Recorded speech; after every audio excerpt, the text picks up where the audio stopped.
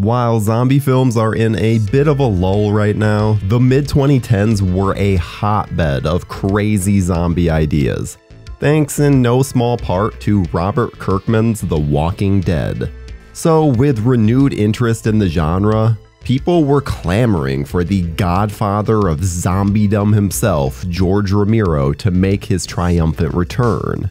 So you can imagine the excitement when in 2015 it was announced that Romero would be making a new entry in his zombie saga with the logline The story is set on an island where zombie prisoners race cars in a modern day coliseum for the entertainment of wealthy humans. Um, zombie drag racers? Uh, okay then. I guess they're going super literal with the title this time because today on What the Fuck Happened to This Unmade Horror Movie, we're taking a look at George A. Romero's Road of the Dead.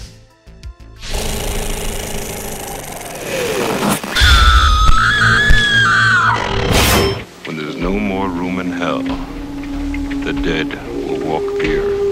Romero's zombie films have always played with the concept of the dead regaining some of their memories and actions from their previous life. It's why we have zombies handling guns and going to the mall. Their past life calls to them. He remembers. He remembers everything that he used to. But what writer Matt Birman wanted to do may have taken it a little too far. He was obsessed with the idea of zombies driving. Yes, you heard that right.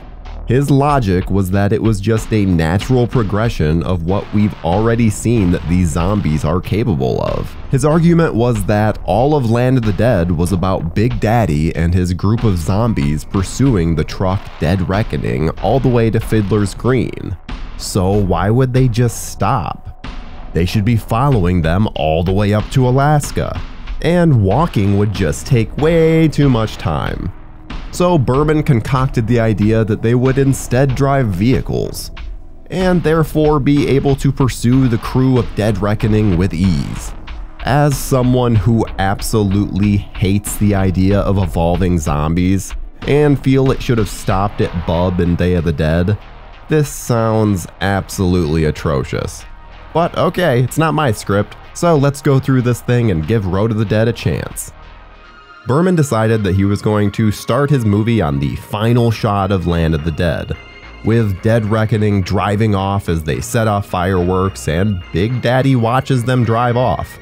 Feeling that Big Daddy wouldn't just stop his pursuit, Birman contended that since he had already proven to use tools to get what he wanted in the name of pursuing these humans, who's to say he wouldn't get behind the wheel of a car? Talk about making things complicated. And the complications just kept coming though, because despite this being a Land of the Dead sequel, they weren't able to bring back any characters from it. Hell, they couldn't even use the name Dead Reckoning when referring to the mobile zombie killing truck.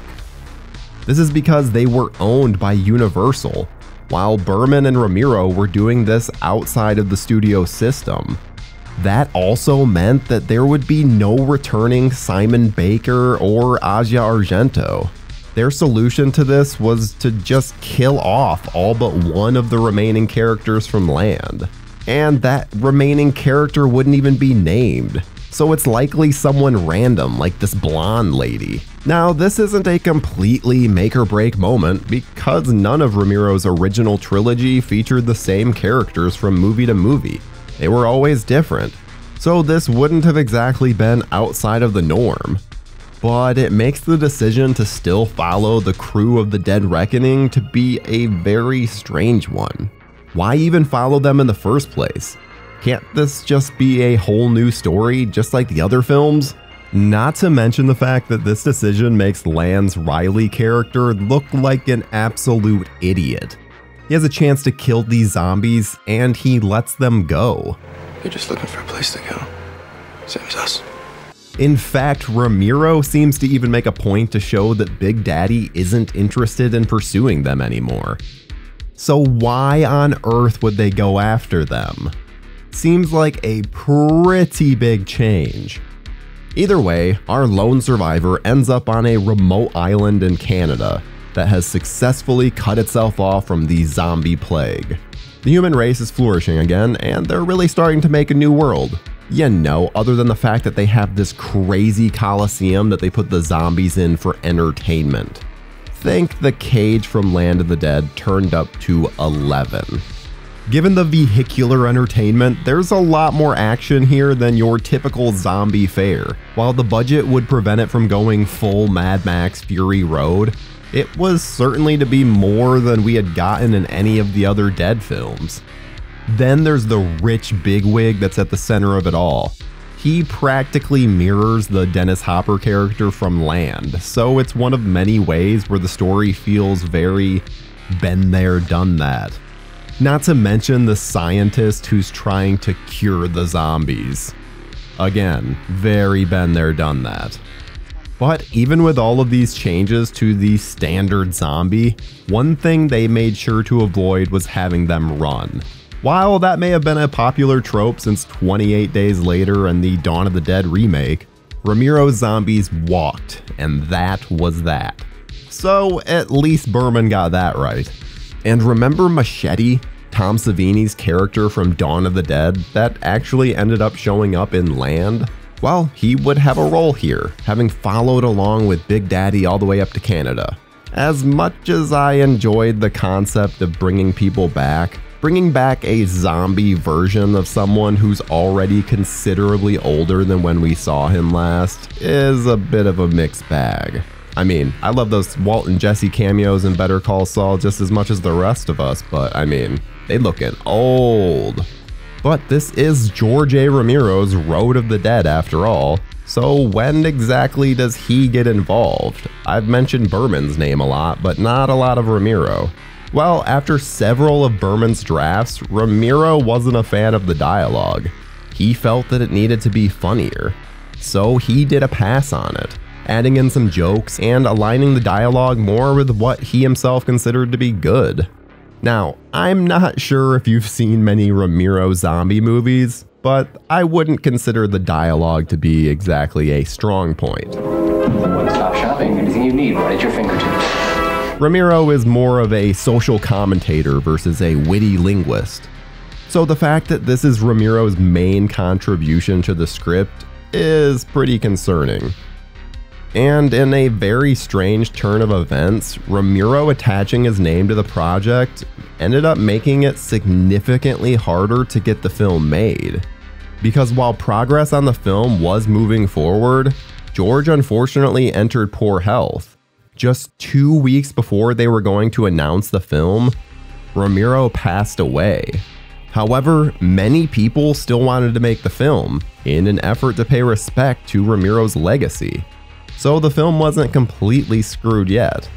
But with Romero's name attached, it meant that those who were now in charge of this estate were now also in charge of approving what his name was on.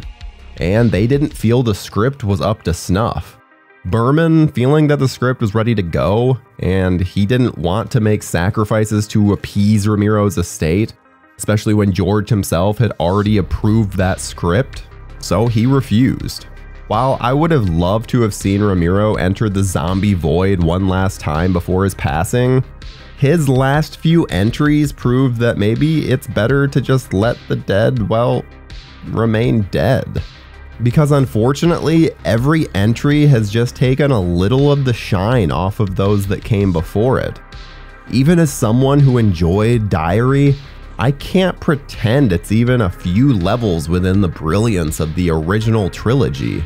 With Romero having passed in 2017, progress on the project halted. And honestly, I'm not sure if that's a bad thing. As much as Birman makes this out to be that this is all about honoring Romero's legacy, that feels pretty disingenuous. Many elements of Road had already been done in both Diary and Survival, and as much as Birman likes to claim that this is the last thing George wanted to make, we already received his final dead entry in book form with the release of The Living Dead. And Romero did more than just a dialogue pass on that one. So if there was ever a proper way to continue George's legacy, adapting The Living Dead seems to be the best option. because it has been both well liked by fans and had George contribute to it in a significant way, unlike Road. Birman claims that his movie will be made under the title Wolf Island, since he legally can't connect it to the Of the Dead world. So if this concept intrigues you, and I mean, I really can't imagine why, then keep an eye out for that. Meanwhile, for the rest of us, we have the wonderful Dead series to look back on and enjoy for all its biting social commentary. Let's just ignore all the snake oil salesmen who came after the fact. What did you think of Road of the Dead? Do you think I'm being too harsh? Is there some potential that I'm just not seeing? Sound off in the comments below, and we'll see you in the next one.